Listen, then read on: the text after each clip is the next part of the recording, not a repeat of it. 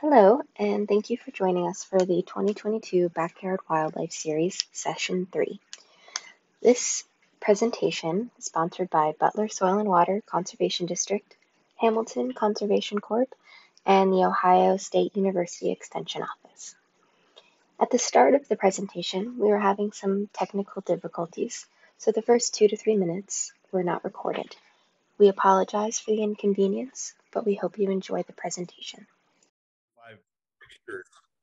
Um, it's just really uh, a lot. That's so. So there's not really a, uh, a, a big hard number on how much light you you need or anything like that, but there are some good things to follow. Um, ground ground up fixtures should be as close to 27K, and the K stands for Kelvin, which is a temperature setting in in lighting but less than 3000 Kelvin. And we'll get to exactly why that is here in just a minute. And if you're doing moonlighting or downcast lighting, like from a tree or from uh, a, um, uh, a yard arm or something, it can be as high as 4000 Kelvin, but you really don't want to go any higher for that moonlight effect. Only illuminate what you really need to. So um, use hoods, shields. Um, uh, you, you want to try to polarize the light so it's going only where you want it to. Uh, and then you don't want to leave the lights on all night long. I mean, you know, it's we have we have our landscape lighting. It comes on once it gets you know dusk sets in, and it goes off at you know midnight or one a.m. That way, you know, most people that are driving they see the house and moving on it. They're already gone at home in bed. The the bugs don't want to see it anyway. So uh, that's that's always a good thing is to have that. Got it. Okay, thank you. And then, um, so in that, uh, in the uh, Dark Sky uh, Association, they have a lot of really good things in there. They have principles for responsible outdoor lighting. So, uh, like night lights, uh, security lights, a lot of times they're just left on all night long. I, I can remember flying over uh, different cities uh, in commercial airliners. And very shortly after you take off, you've got a really good view of, of the, uh, of the city at only, you know, a few thousand feet. And it, it was remarkable the number of completely empty parking lots that were fully lit up like daylight for absolutely no reason. Um, so, you know, being responsible about, well, do we really need to have those lights on all the time or not um, if you if you pull up a, a, a, Google search and you ask for a um, light pollution map, you will be astounded. You'll be astonished at how much light uh, there is given off every night, and um, it, it is very difficult to find dark sky uh, anywhere in the eastern United States anymore. It is tough. Um, so uh, what you, we want to do is do the best we can and then talk to everybody else and friends and mm-hmm. neighbors and talk talk them into doing the best they can when we come to doing uh, lighting. So uh, these are some of the uh, illuminations of the International Dark Skies Association. Make sure it's useful, has a clear purpose. Make sure it's targeted. It only goes where you want it to go. Um, and use low light levels. You don't, don't have to be really, really bright. Uh, uh, controlled timers, motion detectors, and then the color. And this is where we're going to get into here in just a second, the color. Um, these are different kinds of lighting. Upward lighting, uh, upward reflected lighting. Uh, you see the useful lighting. It's a very small part of that. Glare and light trespass. Um, now, we talked about there's not a lot of uh, ordinances against a lot of lighting, but light trespass is the one that you can probably uh, talk to somebody and actually get something done. Uh, if somebody puts up, including the city, they put up a street light and it, you know, glares light right through your bedroom window, that's light trespass. And, and it really, really shouldn't look like that. I mean, if this is what you're getting, uh, that's, that's probably not a good thing. And there's, there's definitely some, uh, something to be said about uh, talking to somebody about that and always be respectful and, and, and talk to them, explain to them, Hey, this is this is you know coming right in my window and most all the companies that build all of these fixtures for municipalities or commercial properties, they have uh, barn doors, hoods, shades, shields, everything that controls how the light uh, uh, goes. And then uh, this is uh, this is Sky Glow, um, and you can just see that all the indiscriminate light around there just shining up, and it just lights up all of the uh, particles of dust and everything else in the sky. And um, that's that's just the way things are right now. You can actually go out in the middle of the night and you can tell where every city in Ohio is almost. Uh, now, these are commercially produced lampposts. I, I cannot believe somebody would actually pay almost $300 for one of these. This has got to be one of the worst lights I've ever seen in my life. The light bulb is up in the little black dome of that of that uh, bollard, and it shines down right onto a mirror right into your eyes. So it, it is it's essentially just blinding you. Uh, that's glare. That is out and out, you know, glare. There's nothing good about that. If you'll notice, it makes really hard shadows uh, along the street edge there. Uh, all the lights in this picture actually are are hard glare lights, and um, that's just not really a good thing. And these are bright white. Uh, the ones up on the big post up there they're sort of okay. They're they're down a little bit in temperature wise, but but uh, these white ones here are probably in the six thousand Kelvin range, which is not not where we want to go. And we'll get to that right now. So when we talk about light, this is the light of the human eye. Uh, bugs and and uh, certain mammals, they see the light at the smaller nanometer wavelength that's all the way to the right differently than we do. They are more perceptive than we are. And the blue light that everybody's been hearing about from their TVs, their computer monitors, everything like that, that's in the 520 nanometer to 500 nanometer range. And that's what we want to try to eliminate out of all of our landscape lighting. If I should mute mine down. That does a couple of things. One, it's bad for human beings, um, but it also messes up uh, like I said, insects and some of their uh, what they're looking for, their navigation, things like that. So we're going to be down farther below or above uh, the the 550 down towards 565, and this is what that looks like in a light bulb. So the temperature scale anywhere from 6,000 to 7,000 Kelvin is you're getting to that blue light, and it's that's that's just really bad. We're looking down on the far left hand side, no higher than 3,000 closer down towards 2004 um, lighting that you you you set on the ground and gravity is a great thing. You just have to you know put the thing the stake in the ground and the cord stays on the ground you cover it with mulch it's great. Um, but if that light is going to shine up onto a building you want it to be in that lower range now like i said if you're doing the moonlight or downcast lighting from up in the trees down you can go up to 4000 and not cause a problem with with the with the uh, with the animals. Now, now we have LEDs, we get to pick that a lot easier than we used to be able to. Used to be incandescent bulbs were way down in that range anyway, so it was never a big problem. Then we started getting real fancy with our light bulbs. Now we have to pay closer attention. So where do you buy all this stuff? Um, big box stores, Amazon, special lighting companies, anywhere, so long as you can see the specifications and follow the guidelines for the responsible landscape lighting. Um, 2000 or 2700 to 3000 Kelvin for uplighting, 4000 for downlighting. Uh, I mean, really, that's it. Uh, no more than, than 525 lumens. And I thought, Jiminy Christmas, that's not very much. I started looking at uh, Home Depot, Lowe's, um, Menards uh, are the three big boxes around here, and then uh, a few specialty shops. Every one of them has lights that are way down in that range that are eh, they they're certified by dark sky. So it's not hard to find and they're not really expensive. So eh, you know that part of it is really easy. Um, and i need a designer okay? That's the next thing i'm hearing. People say i need a designer well i would be more than happy to take your money but you really don't need a designer because what a designer is going to come in and do he's going to create this vision that's his um, or hers to what they want to see eh, at your house or your business. And you know, it, it's better if you use your vision. What would you like to see? and then just go practice.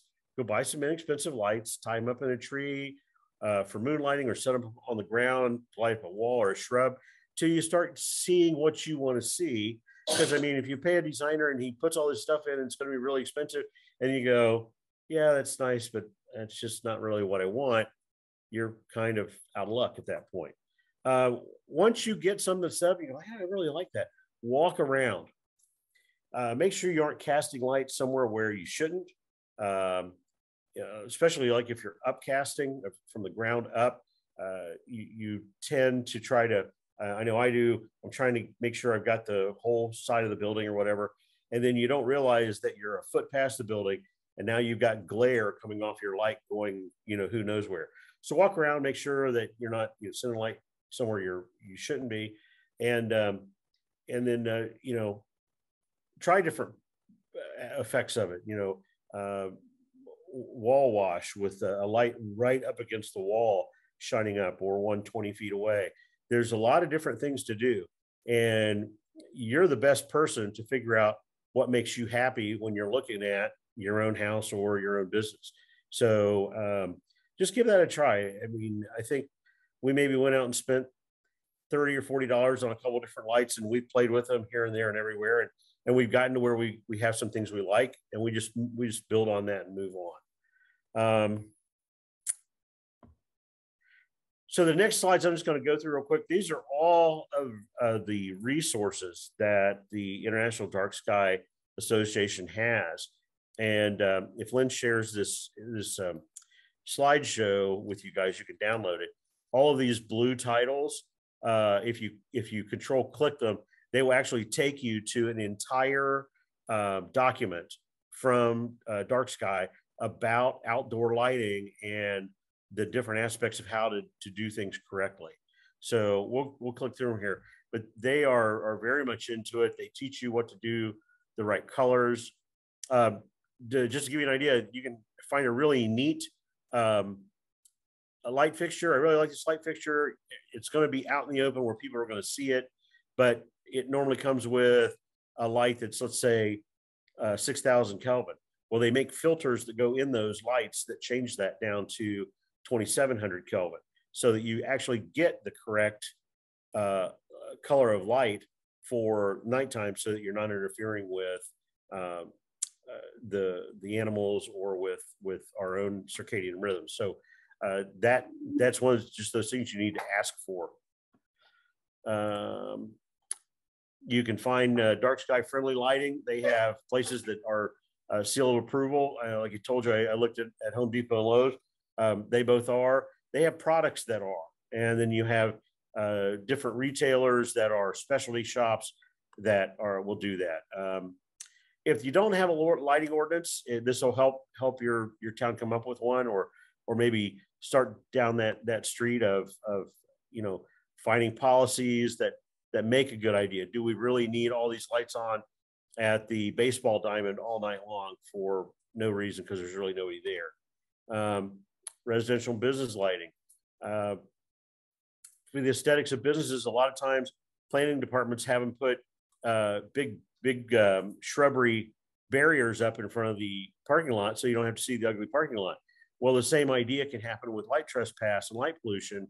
You can talk to them about maybe making, uh, you know, things that go into how they set up businesses so that the lighting doesn't have to be just uh, willy nilly and go everywhere.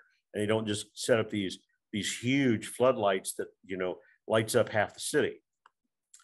Um, and then your neighbor's light. I know we have neighbors that lights shine where we don't want them and you just have to go talk to them and and and try to help figure out a problem. But you know, a light on somebody else's house shining into your house is definitely a problem, and and it's not something that you should have to um, endure. I mean, that's that's that's not that's not right. So, um, and then bad street lights, we talked about that. Um, you know, you, you you go talk to city officials. Uh, and they'll you know they'll tell you oh well you know there's there's nothing we can do about it well, yeah, there always usually is something they can do about it. And um, uh, they say, well, we want it, we want it uh, so that it's it's uh, protecting everybody. Well, it's you have to do lighting correctly for it to be protected. If you simply have a lot of bright lights around, um, there's a study out that's actually on this page that shows that it is no uh, greater protection to have bright lighting around from being mugged than having no lighting around because the bright lighting creates too many, too many harsh shadows. It actually highlights you, the victim, so that the stalker can get a better idea of when to attack you. So there's a proper way to do lighting and an improper way to do lighting. So um, bad street lighting is a problem, and, and, and again, respectful to the, the elected officials and uh, the uh, city workers trying to figure out how to make this work. Um, and then um, come up with model lighting laws. Like I said, the the one at the beginning that's a that's a model from uh, IDA, and it's okay. Uh, I think that there's uh, there's a lot of room for improvement, especially with uh, when you look at different neighborhoods and you know uh, the neighborhood we live in is very traditional. I mean, you can reach out the window and hand a cup of coffee to your neighbor without going outside. I mean, window to window.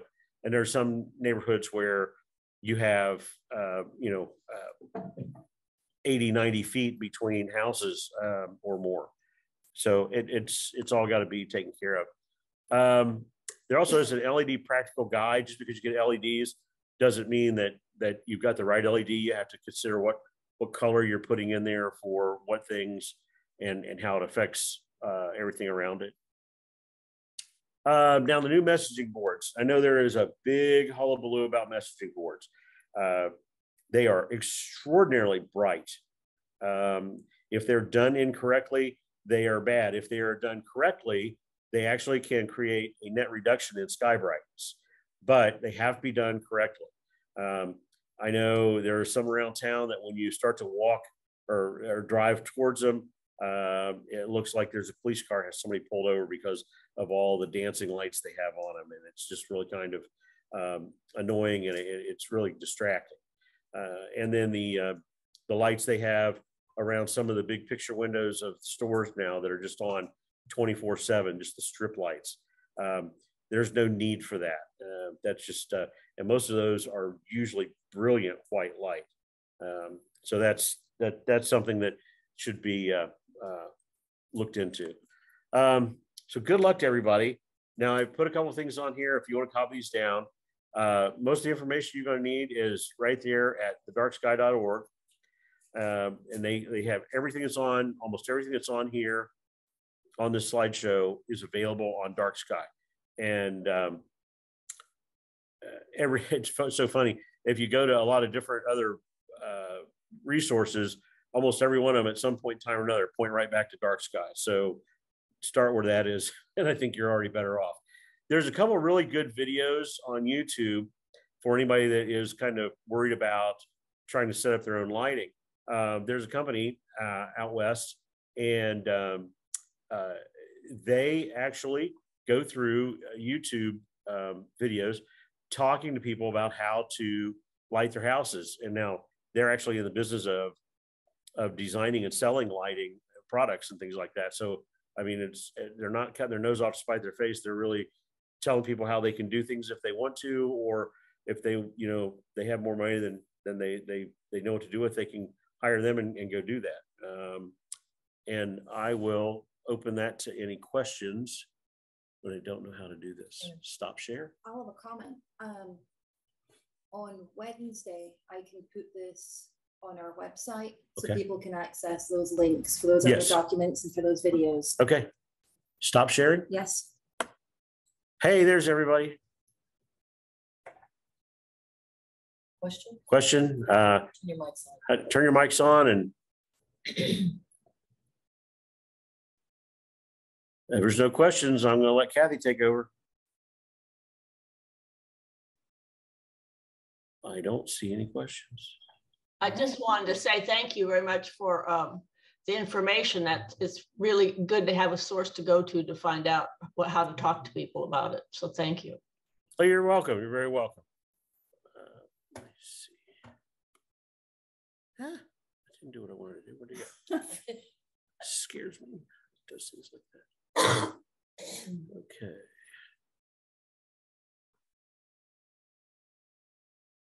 Why is that up there? Because it's not screen sharing properly.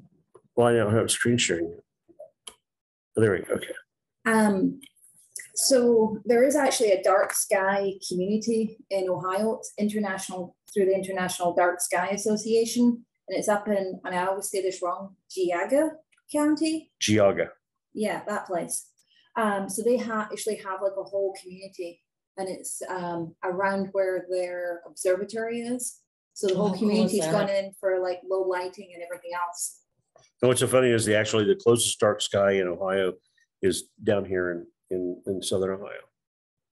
If you look at the dark sky map, Like Southeast Ohio? uh, yeah, there's there's one spot over here between here and Portsmouth, and then over east of east of here. Adams County. Yeah, I think so. Yeah, Yeah, so there's nobody lives down there. you're up. Am I, where am I on screen share? Greetings, everyone. We're going to be talking about nighttime creatures here in just a few minutes. Hmm.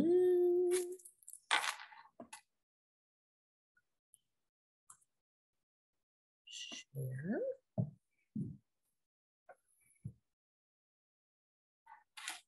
There we go. So check with them that they can see your. All right. Can everybody see that slide that says bat, moths, and other nighttime creatures? Uh, Maybe not, because it just disappeared. No, we can see Yeah, we can see it. You can it's see it? Mhm. Oh, did your, My turn died. okay, all right. All right, my name's Kathy. We're gonna be talking about uh, nighttime creatures. Uh, We're gonna tie that into our um, conversation about lighting. Hang on a second. How are we doing? Just keep going. Okay, all right. They can spot out the paper under it. Mm, um, so our nighttime creatures, we need to protect from all the light pollution. Uh, I one of my favorite uh, statistics about mosquito lights is that in actuality, they kill a greater percent of moths than they do mosquitoes. Um, so that's always disheartening.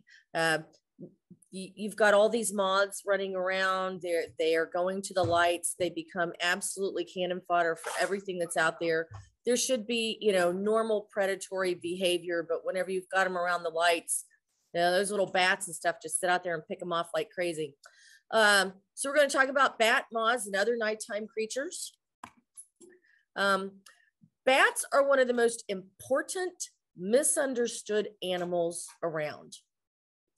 Recent studies estimate that bats eat enough pests to save more than $1 billion per year in crop damage and pesticide costs in the United States in the corn industry alone. Agriculturally, it was $3.6 billion. Um, so if you're looking at soybeans and, and all the other crops that we have, uh, yeah, 3.6 billion. It's 1 billion in corn industry only. Bats are declining globally due to uh, mostly human interference, uh, habitat destruction, senseless killing due to unfounded fear.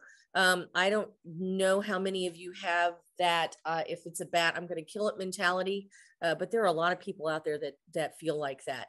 Um, disruption disruption of hibernation and white nose syndrome disruption of hibernation is simply this is mostly the white nose syndrome and the disruption of hibernation are for cave dwelling or cave hibernating bats and what happens is that particularly we'll be talking about um, the indiana bat later it is on the endangered list uh, and most of it is because of disruption of hibernation they only hibernate in a few caves and whenever you go into those caves during hibernation season and disrupt the bats, uh, they leave, they fly out, uh, they get cold, they don't come back.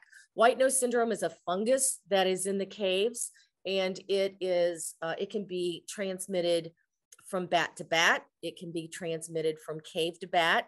It can be transmitted from cave to cave. And the way it happens cave to cave is that we tramp into a cave that has a population of bats that have white nose syndrome. And then we don't clean our boots, we don't clean our shoes, and we tramp into another cave and we've contaminated another cave. It's a whole nother population of bats that are going to be contaminated with white nose syndrome. How can we help? Um, be a bat ambassador and spread the word that they're really not horrible, nasty creatures. They're actually kind of cool. Uh, turn off unnecessary lights. Watch for bats. We have bats around our house. They're absolutely amazing at night to watch all their acrobats catching the the uh, mosquitoes. Um, they can eat thousands of mosquitoes each evening. Promote, promote natural habitat around your home. Uh, they like tall trees. They like deciduous or, con- or conifer trees. Um, don't use a lot of pesticides because your bats are eating your bugs. Your bugs are eating your pesticides, and they all go into that food chain. Provide shelter by installing a bat box. Bat boxes are amazing. Once you get a, a colony of bats around your house uh, and your property, you, you will just sit in the lawn chair at dusk and just watch them come and go. They are fun. Avoid disturbing bats. Um, we've talked about the, the, the uh, disturbance of hibernation please be respectful. If you're out and and you're going caving know if that cave has a bat population. If you don't know if that cave has a bat population don't go in there. If it's posted that it is a bat cave um, where there is a population don't go in anyway. And um, remove unwanted bats humanely. I can't imagine anybody not wanting a bat but if you do have a bat and you don't want it in your house please don't just kill it. There are lots of um, organizations out there that will come and rescue that bat. However, I just found out that if you call someplace like Critter Getters, that they have to kill whatever animal it is that they come and retrieve, uh, which I thought was pretty sad. Um, so go online if you should happen to have a bat somewhere where you don't want it to be and look for uh, a bat rescue in your area. Uh, around here, honest to God, you know, if you can find, if you can track Troy or myself down, we'll figure out something to save the bat. Bats of Southwest Ohio. Little brown bats, big brown bats, Indiana bats, and Eastern red bats. I did not know about Eastern red bats, so I actually learned something new while I was preparing this presentation. This is a little brown bat, and he was up in my attic, and I took a picture of him. Uh, we left him up there for most of the winter because we just didn't really go up there. And he seemed happy, and we were happy to leave him there, and life was good. Um, a little brown bat and the big brown bats are known as house bats. They hibernate in buildings in the winter. The little brown bats are three to four inches long with an eight to 10 inch wingspan. Pups are born in the fall. They eat large quantities of insects. Uh, they are food for other animals. So that's kind of one of the things that um, like what what are bats good for? Not only do they eat insects but they're also food for larger animals. They control agricultural pests like we talked before 1 billion dollars a year just in corn crops. And they're in, uh, indicators of environmental change. Bats like a nice clean environment. They like um, to have their forested forested areas. And uh, once your environment starts to go go down you will start losing your bat populations we're losing lots of bats now uh, because of decreased habitat, because of pesticides. Like I said, that those pesticides go into the food chain. Next bat is the big brown bat. It's also known as uh, a house bat. It hibernates in buildings. It's four to five inches long and has a 13 to 14 inch wingspan. Um, and I understand you bat haters that uh, the those are those are some some big wingspans to be flying at you. Um, don't scream because they do fly towards noise and they use echolocation. So just stand there quietly, leave them alone, and they will fly somewhere else. Their pups are also born in the fall. Uh, what I found out about uh, uh bat mating is that they are totally promiscuous and uh, kind of like orgies. So um, whenever you see all these bats flying around, they're just, uh, all they want to do is mate. Uh, they also eat small beetles are their most common prey for your big brown bat. Uh, they'll eat anywhere. They will eat over water. They will eat over grass. They will eat in in trees. Uh, so they really don't care where they eat. They just want to eat. Uh, they are ranked among the most beneficial animals in America. The Indiana bat the Indiana bat is on both the state and federal endangered species list. They are endangered due to hibernation disturbance. from people going into caves whenever they shouldn't go into caves. Uh, there's a couple of caves that we went to. Carter Caves has a big bat population. They close that cave during the winter so that you can't go in, and they still have people who break in and disturb the bats. Uh, they're kind of small little bats, 1.5 inches to three inches long with only a nine to 10 inch wingspan. They feed entirely on night flying insects and they can eat up to 300 insects per, per feeding. And their population, not only are they suffering from hibernation disturbance, but they are just suffering from the white nose syndrome uh, that from cave dwelling bats. They're doing some study now. Lynn, have you seen this?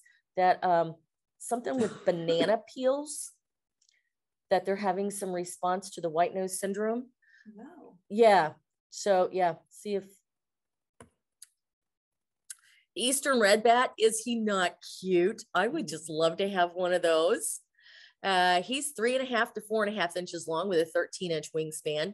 He likes to live in forested areas. So um, lives in deciduous or coniferous trees. Uh, he is the most common tree bat in Ohio. And they are also insectivores and they eat many moths and beetles.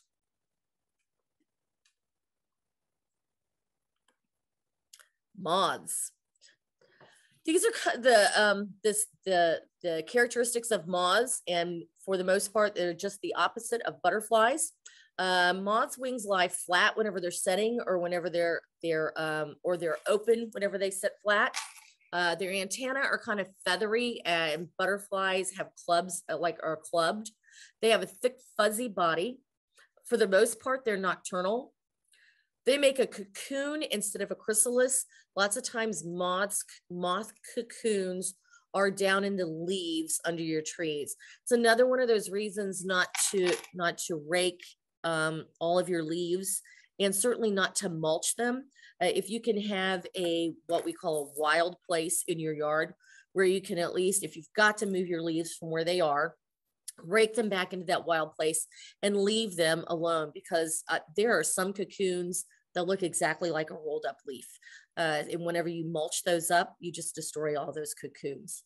They're very important for pollination and they are, their caterpillars particularly are food sources for songbirds.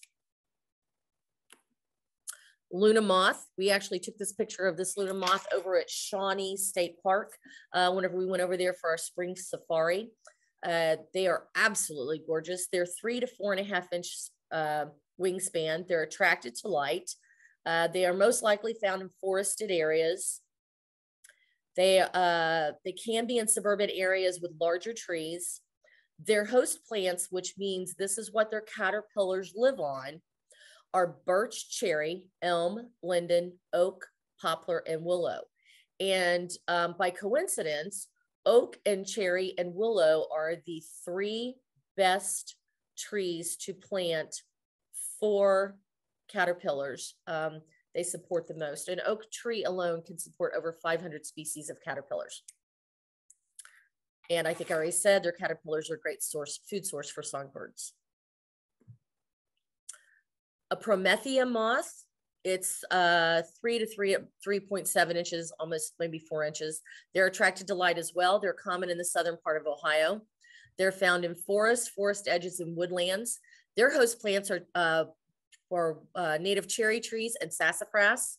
Spice bush, sweet gum, and tulip tree. I did not know that one of their host plants was spice bush. I would just be really excited if I got a spice bush swallowtail on my spice bush. Um, but if I got one of these, I would be so excited.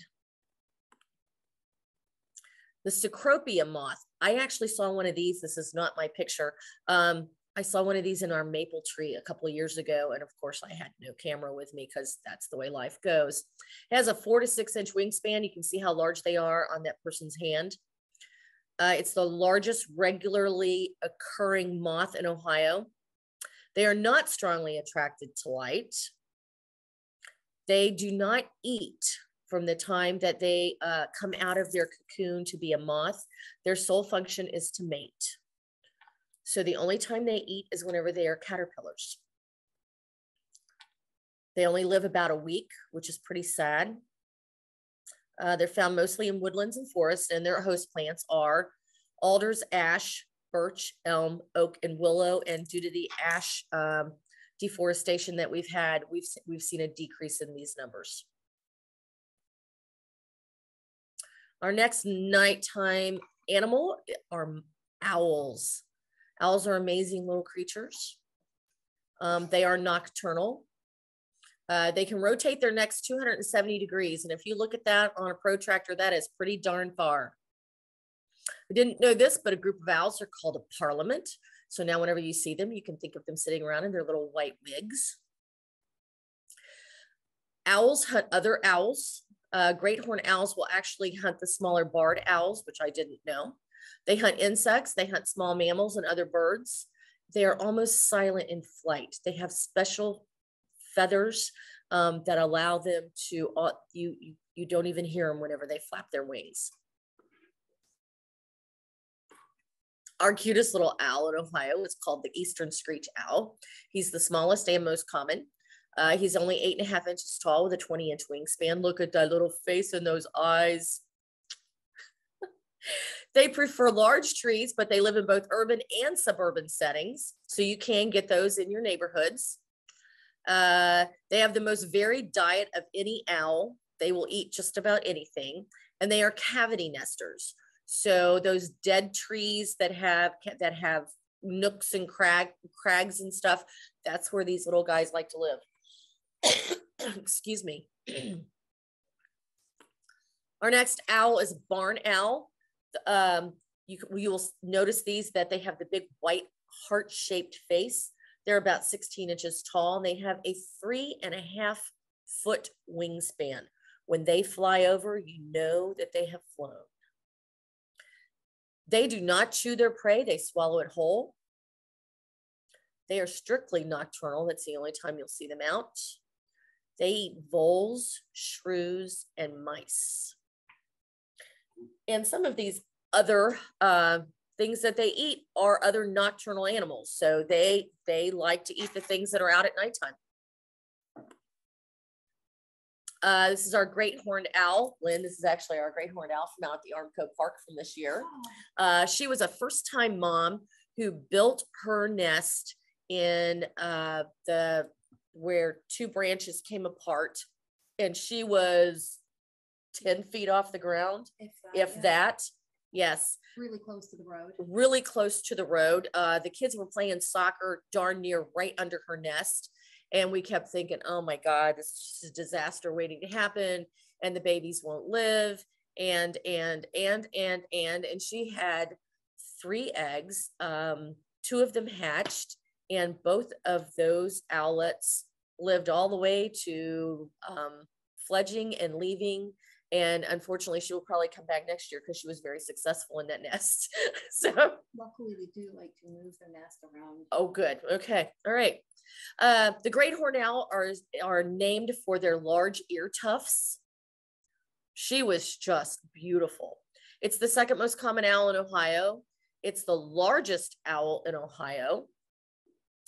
Uh, they are monogamous. They mate for life. But we never saw her mate I'm okay with that. you're okay with that Because you're bigger. uh, they they eat um, they eat rabbits and voles and mice as well. They're 22 inches tall and 44 inch wingspan. Ladies and gentlemen, that is almost four feet. We didn't see her fly either. Um, the her two owlets were absolutely beautiful. It took, she fed them a long time. Uh, someone had pictures of her eating uh, or of her feeding them a garter snake. Uh, someone had pictures of her feeding them uh, mice. So yeah, pretty cool. Um, I'm going to go back to owls for just a minute.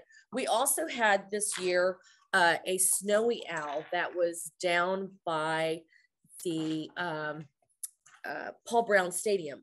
I don't know if anybody saw any of the, the social media presence of that. Uh, she was absolutely beautiful. Everyone worried about her. She lived up between two of the pylons under 75. Uh, and it was always funny because people would go and take pictures of her, and other people would be like, "Oh my God, you're gonna scare her, and she's gonna fly away, and we're never gonna see her again." And it's like, people, she lives under I seventy five.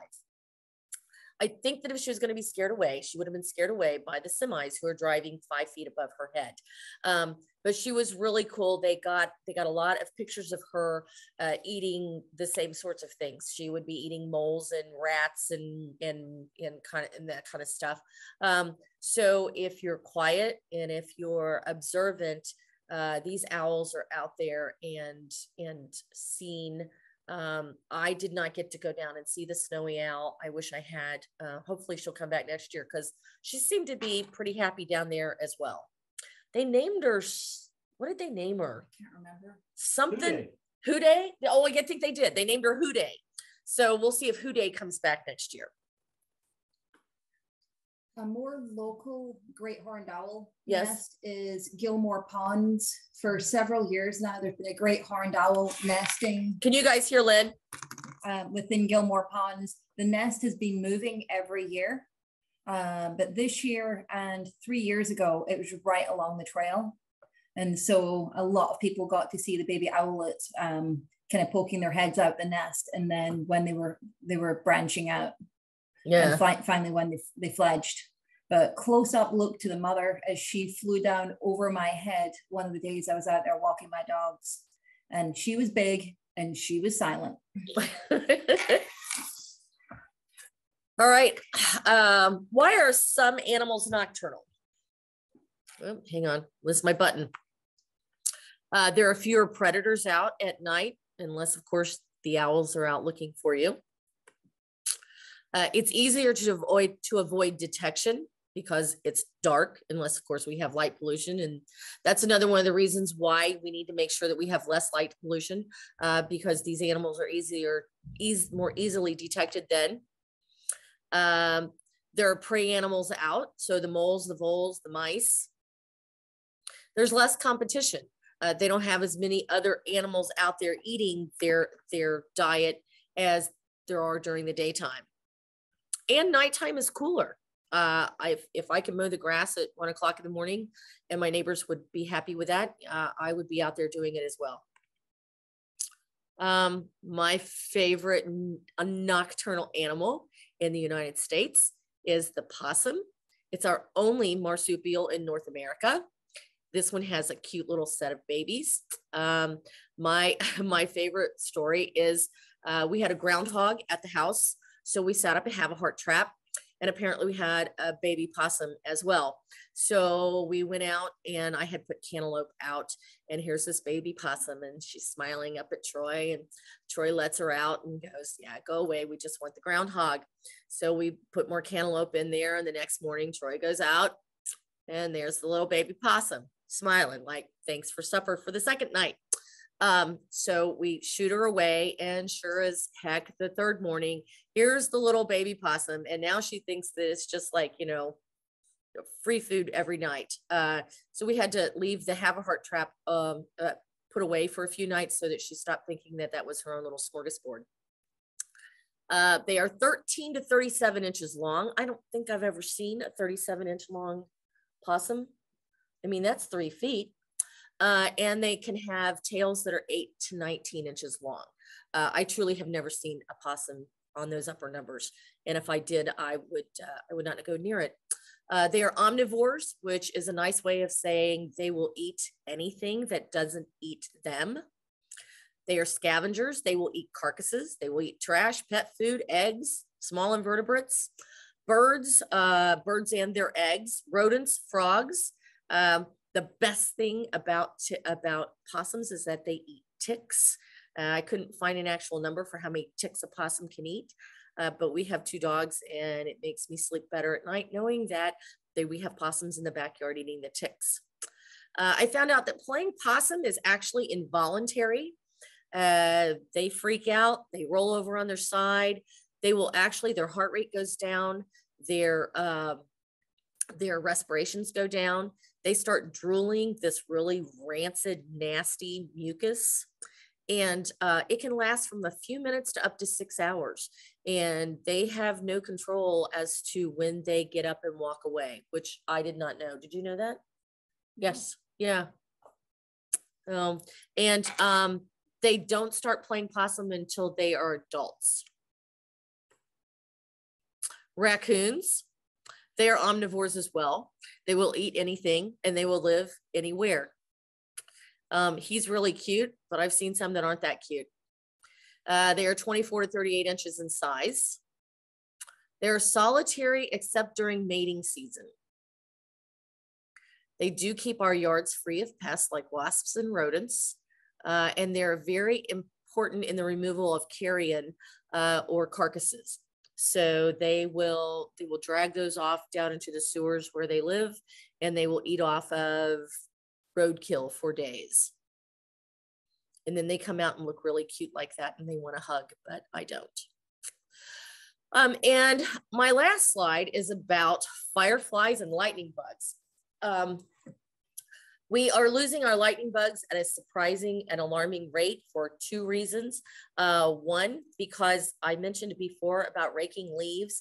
Fireflies actually spend like 80% of their life down in, in your grass, under your grass, uh, and they need those leaves for their habitat. So raking those leaves away uh, ends up killing the, the lightning bugs and um, we're losing them. Uh, stop the lawn chemicals as well. Uh, we have uh, a thought that, I don't know if you remember last year after our cicada invasion, we had that bird thing that was going around where we had, okay. So from the studies that I read, they think that what was killing the birds was that all these cicadas had come up out of the ground after 17 years and that they had been underground for 17 years soaking up all of these chemicals whenever the birds ate them it made the birds sick um, so stop using pesticides, no lawn chemicals, and no mosquito sprays. I just had this conversation the other day with the garden club that I was talking to. Um, the mosquito Joe signs just make me very sad. Um, it, it, I know that they like to tell you that their that their spray will only kill mosquitoes, uh, but that's not true. It would be like saying, well, we have this chemical that will only kill red-headed females uh, but no other humans. And that's not true. If it kills one bug, it's going to kill all bugs. Uh, so don't believe the it only kills mosquitoes. Um, they uh, facts about lightning bugs. Uh, they aren't flies at all. They're actually beetles. Uh, they have the most efficient light in the world. So their lights are caused by chem- a chemical reaction, and it truly was deeper than anything that I wanted to share with you. But nearly 100% of the chemical reaction, uh, of the energy from that chemical reaction becomes light. The light they produce could be green, yellow, or orange. Everybody loves lightning bugs. Um, leave your leaves and uh, don't use lawn chemicals. And they can use their, their light to scare off predators uh, some fireflies eat other types of fireflies, and humans are the most contributing factor to the firefly decline. Uh, and questions or comments from anyone? I have a few comments. Oh, good. So there is an Because I can't see those. um, you can stop share at the top, Okay. then you'll see faces. Right. Hi. So there is an Ohio Bat working group, and they are holding um, a huge bat event this year on August 19th and 20th up at Germantown Metro Park. That's what Melissa's doing. Yes. Yeah. Mhm. Um, so yeah, we we work with an educator from Warren Soil and Water who's part of this bat working group. So she'll be going out helping, but they're Yeah. actually um, capturing bats and tagging them and releasing again, kind of Yeah. like a monarch tagging event. It's banding. It's kind of like Yeah. bird banding. Yeah. So they um it, it, the event is near capacity. So I will attempt to post this Can you on our share website, that link? Okay. um because the it's a bit goofy. It's a really long website. Yes. Um, there is also, if you're into fireflies, uh, the Butler Metro Park system has put a small firefly garden in at Elk Creek Metro Park, which you might know as the old Weatherwax golf course. It's really teeny tiny. Um, Nichole and I were out there last week or the week before um, doing a kids program. And so she dived into the bushes to go see what kind of plants were growing there. Um, she was braver than I was. I was scared of ticks. Um, uh, you need some possums there. But it will, um, if you want to check that out, Metro Parks is planning to do a Firefly program sometime in the near future. She's just not quite sure when it will be yet. And then there was a third thing, and it's totally lost me just now, but it will come back to me and I'll share it later. Mm. We also there's a, a thing called Moth Palooza that they do every year. It was just a couple of weeks ago, July 15th through the 17th. Um, if you're on social media, they do have a Facebook page. If you just Google Moth Palooza 2022, and that's uh it's a pretty cool event. Um, they go and they put these big sheets up and they put light, they backlight them, and the moths land on them, and you can get some amazing pictures. Uh, they did that a couple of nights when we were over in Shawnee. Uh, we didn't make it out for it, uh, but the Moth Palooza, and apparently it's um, you need to sign up rather quickly, or otherwise there must be a, a lot of moth lovers out there that we didn't know about. Um, hold up. Hold this. Ah, here we go. So um, the Ohio Department of Natural Resources Division of Wildlife has a ton of books. I'm not quite sure what they have in stock just now, but the one that Kathy's holding up is the Owls of Ohio book. They also have Moths of Ohio. Um, they haven't created have Fireflies one. of Ohio because there's not quite enough of those um, to create an entire book of. It would be a very small book. Yeah, but do look on their website because they have them all as PDFs. Yeah, here we go. Website. Uh, this is ma. You'll have to hold it, closer. Go? There we go. Or not. It's that background you've got going It on. is that background. It's Troy's background. There we go. Moths of Ohio. And then, yes, Owls of Ohio. Um, but yeah, if you, um, this one's yours. Uh, if you Google those, uh, Moths of Ohio Field Guide, you will be able to find that PDF and you can download it. Yeah.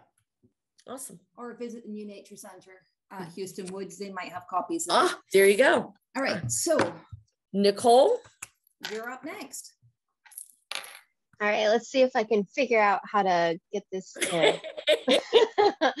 I'm also not proficient at Zoom, so. Great. Okay. Okay. So there's that. Well, I don't know how to start it from here. Okay, there we go. Okay, so um, hi, I'm Nichole. Um, I work uh, with Lynn at uh, Butler Soil and Water, um, and I'm also about to graduate from Cincinnati State. Woo! Um, and uh, I'm doing a sustainable horticulture. But I decided to do this presentation on um, uh, the southern flying squirrel because it's a really cool nocturnal animal that a lot of people don't realize is just right here uh, in our backyards.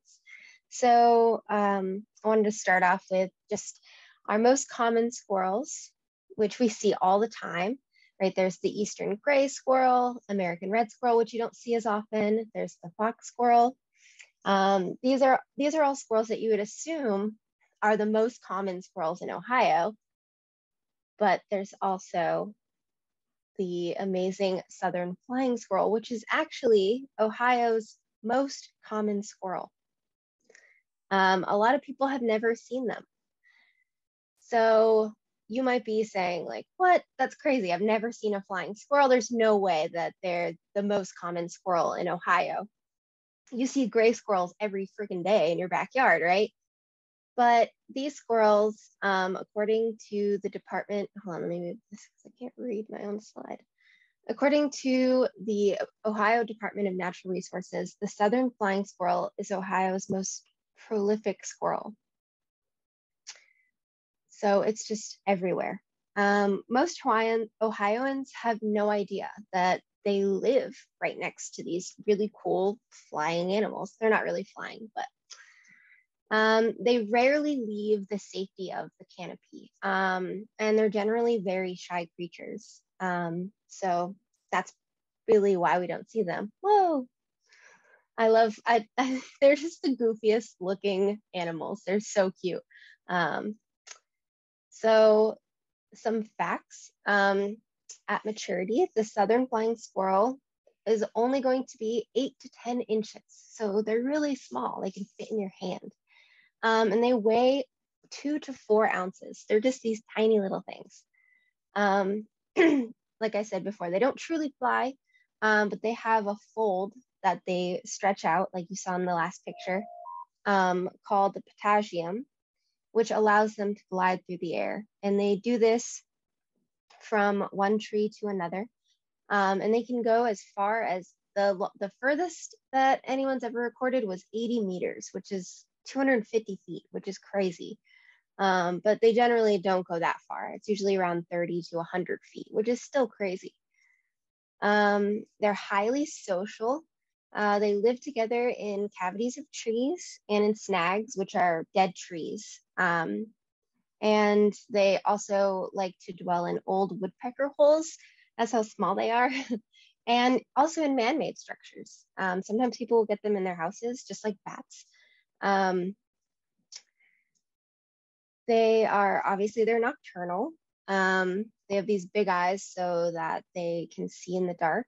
Um, and they live almost their entire lives um, up in trees. They're rarely ever on the ground. They're actually really, really um, like bad at running around on the ground. So they try to get up into a tree as soon as possible. They're actually really fast. Um, they have a flattened tail um, and it helps them adjust the angle while in flight. So they can actually, while like jumping and soaring through the air, they can turn at full 90 degrees, um, which is crazy. So they they can just kind of maneuver around trees. Um, they're definitely acrobats. And most of the noises that they make are undetectable to the human ear. Um, but they do make some noises that we can hear. Uh, I tried to put a video clip. Let me see if it works. I don't know if everybody can hear that.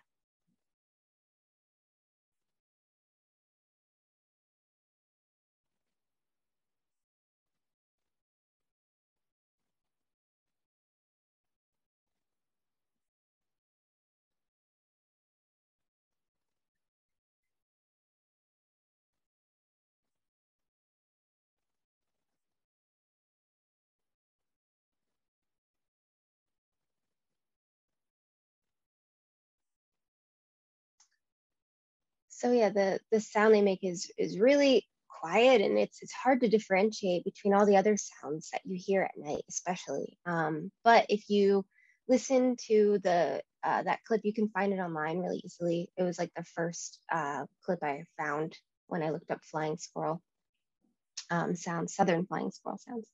Um, if you listen to it a few times, I'm sure that you could be able to identify it at night. But they okay, this is the cutest. This is a little baby. They're just so cute. I just want to hold them. You can actually have them as pets too. Um, you can have them as pets in Ohio, which is pretty cool. Um, not in every state, but here you can. Um, so uh, their range, this is their range, uh, the map that you see right here. Uh, so it's from southeastern Canada all the way down to Florida and all the way out to the Midwest. Um, and then there's also some pockets of them in Mexico, Guatemala, and Honduras. Um, so they're actually like all over the place, which is kind of crazy because I lived in Maine most of my life. I never saw flying squirrels there, and there's lots of trees there.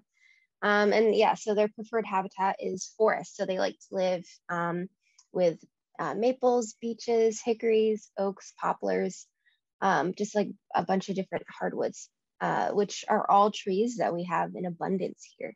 Um, their favorite is hickory, so they really love hickory nuts um, and acorns for when they're storing food for the winter. Uh, they feed on pretty much everything. Actually, they're they're they're true scavengers, but they they eat a lot of fruits and nuts uh, from red, red and white oaks and hickories and beeches. Um, they store food in the winter, but they don't hibernate. Um, they just kind of uh, try to conserve energy in the colder months. Um, they also consume like bugs, different types of buds, mushrooms. Um, a really weird one that they eat, which I'll get into in a minute, is mycorrhizal fungi. Uh, so mycelia, which is a very specific kind of fungi that grows underneath the ground. Um, they also eat carrion, so they eat you know carcasses. Um, they'll eat bird eggs and nestlings. Um, they also eat flowers. They'll they'll eat pretty much anything. Um, so they're they're a really cool animal. Oh, look at him go! I just love them. they just look so cool. And he's got like a big old nut in his mouth. He's ready. Um, so ecological benefits. Um, the things that are really great about southern flying squirrels is they do a lot of seed dispersal. Um, that's one way to know if you have flying squirrels is they they kind of like shell nuts and they leave a lot of shells at the bottom of trees. They go through so many nuts. It's actually crazy. Um, they act as key seed dispersers of not only hardwood trees um, because they help break open those seeds and everything, um, but also fruiting bodies of subterranean fungi. So fungi that grows under the ground. Um, and they eat it, they dig it up and eat it, and then it's dispersed through their feces. Um, this is actually really important. Um, so the fungi mycelia are known to be highly beneficial for tree growth and maintenance um, because of their associ association with tree roots. They create this really cool symbiotic relationship with tree roots, um, which allows all the different trees in a forest to share nutrients and water with each other. Um, and they also they extend the roots of trees so that they can go further and deeper um, and get different kinds of nutrients. They help uh, create pockets in the soil um, that make it so that trees can take up uh, certain kinds of metals that are hard for trees to take up. Mycorrhizal fungi are so, so, so important.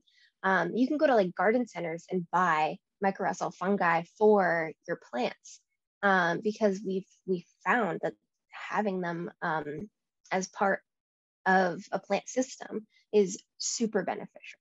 Um, there are things that we don't even understand about how beneficial it is. And these little critters dig it up and eat it and poop it out, like spread it around everywhere. So that's like a really cool benefit that uh, these squirrels have. I didn't even know that until I did this presentation. I learned that about them. Um, I just thought they were really cute and cool and mysterious because no one ever sees them. Um, I've never seen one before. So I hope one day I will. Because look at that face. Oh my God, who doesn't want to see that? Because I do. So, how to help? Um, they don't necessarily need our help. They're actually nowhere near endangered. They're so prolific. They're very common. They're the most common squirrel in the area. Um, but they do have many, many benefits to our ecosystem, and we do want to keep them around. Um, so if you do have a backyard that happens to have trees, or you're near like any preserves or um, any nature centers or anywhere where there's lots of trees, there's guaranteed to be some flying squirrels there. Um, and they uh, they're always in dens, so they're very very social. So they always kind of like sleep in big dens together. Um, so you'll always see a well, you won't see them. You'll probably never see them, but you'll um, they'll always be um, near each other, and so there's always some you know den of squirrel of flying squirrels somewhere, um, which is actually kind of fun to think about. Um, but so one thing you can do is if you have a bigger property, um, and it's always tempting to remove dead trees once you know they start dying. You think, oh, that's useless. I need to get rid of it. Um, but if it's not anywhere that's going to pose a threat to your house, um, obviously, if it's near your house, take it down. But um, if it's not going to pose a threat to your home or any humans, um, maybe consider just kind of keeping it there because not only just for flying squirrels, but you know uh, the multitude of animals that we've talked about tonight can benefit from those. They're called snags, just those dead trees, um, and we see them as an eyesore or useless, but really they um, host so many animals and fungi and, and things that we need. Um, and then, uh, ironically, I was I also was thinking about how lighting is such an important aspect to nocturnal animals when I made this presentation. Um, and so, you know, to bring it back to the, the point uh, that Troy was making about keeping outside lighting to a minimum, um, put it on a motion sensor and a timer um, so that you're not disturbing these creatures in their natural habitat at their natural time. Because, um, I mean, we all know how important that is, especially since Troy just told us. So, um, but any nocturnal creature will benefit from that for sure. And that's it. I could probably come up with about 100 other things to talk about with flying squirrels, but I felt like those were the most important parts. um, okay, so stop sharing.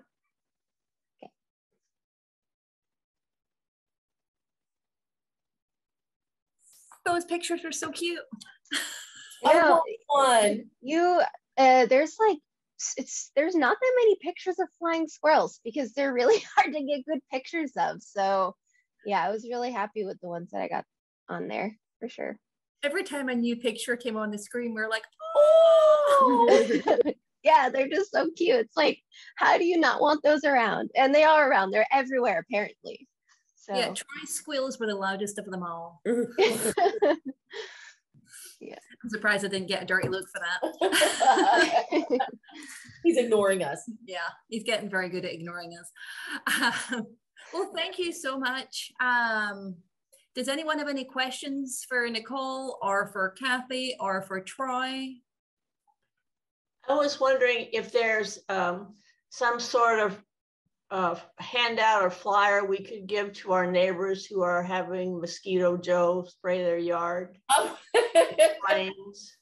um, I will see if I can find one and I will get it to Lynn and see if we can put a link to it whenever she shares this other information.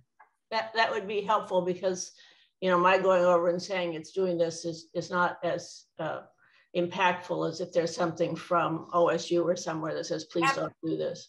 Yeah, absolutely. Yeah. Um, and I, I, think it's just an ongoing battle that we have with with using pesticides and insecticides all the time. Uh, but yeah, de- definitely um, there are there should be some literature out there saying that they're not effective. Kathy, were you one of the people I emailed today with the link? Me? Are you talking about me? Yeah. No, I no. Okay, I was just going to say because if you were, then I I would have your email address to send it um, straight to you. But if you um, if you have an email address and you're willing to share it in the chat, then Kathy will have it to send something okay. to you. Okay, I got to find the chat. I got it. Okay, I got to find it as well because it's closed in ours just now. um, yeah. So our next, where did your paper go again? I'm going to totally steal your paper. Sorry. I'm really bad. I'm stealing stuff from um, Cindy, who's sitting here. Um, so yeah, as Troy mentioned, the next session will be on Monday, November 7th. And the first portion will be drainage and water features, and that'll be Ashley Widener from our office. We get a lot of calls about drainage issues and all the rest. So we figured we'd lump that into backyard wildlife because along with that, JT from OSU Extension is going to be talking about amphibians of Ohio. I asked him if he's going to include the soundtrack just like he did for the bird session that oh he did gosh. back in 2021, which was awesome. And he said, we'll see. So he is not on here just now because he was on, um, he was up at the state fair today and he wasn't sure when he would manage to get back, but he, um, he was um, hoping to get on here tonight and I see he didn't make it. So let me make sure I get her yep. email address. Um, before we shut everything down for the night, Kathy is going to quickly scribble down that email address so that she knows who she's contacting. Kathy, there's a ton of paper paper on the end of the table. Oh yeah, I think I'm with you. And I've got a pen right here. I need a pen. While you're doing that, I just wanted to say we had uh, a flying squirrels in our attic, and uh, we we oh. ended up trapping them and and and, and getting them out of there, but uh, it was the only reason we knew that is we could hear them running around. I mean, not you know their feet running around, so we yeah. realized we had them. And the builder came and filled up the holes, and they'd never been back. But but that was interesting because I'd never seen them either. So Yeah. our- go ahead. I was gonna say uh, it's it's crazy how how many animals are out there that you don't really know, and yeah, that that's really cool though. Yeah, he said he's had that happen mm-hmm. several times that mm-hmm. they've gotten in the attic. I didn't realize they were Yeah, so they're common, so that must be why. Yeah, Yeah, they're little guys. yeah. While we were sitting in the May session where we were learning about dealing with nuisance wildlife, my husband was texting me up a storm because he discovered we had mice in our attic. I kind of wish I it forgot about been that. a flying squirrel. You're like, dang it, so close. Yeah. just just a little smaller and not nearly as cute. yeah. Well, if there's no other questions, then um, I guess we'll wrap up for the night. So thank you everyone for joining us and we hope you'll join us again November 7th. And thank you, Nichole, Troy and Kathy for presenting tonight. yeah, thank you guys. Thanks everybody. Thank you. Take care. Bye. Good night.